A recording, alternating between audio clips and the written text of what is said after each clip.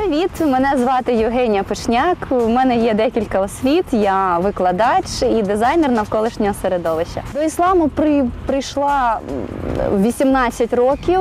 Все почалось з вивчення мови. Колись дуже дуже давно, здається, ми тільки переїхали до Миколая. У мене була дуже цікава історія. Я пішла до школи, і директор сказав, що за кваліфікацію ви підходите, ви дуже класно, ви нам дуже подобаєтесь. Але ж ваш зовнішній вигляд, ви можете з ним щось зробити. Більшість людей, які мене не знають, то спочатку з насторогою такою відносяться до мене. Але коли хоч трішечки, хоча б була одна зустріч, то мій зовнішній вигляд уже нікого не цікавить. Працюється мені дуже круто, бо школа саме у нас демократичного напрямку. Тому я дуже почуваю себе своєю людиною в своєму місці, де я повинна бути. Я фрилансю, бо мені так зручніше, бо мати двох дітей.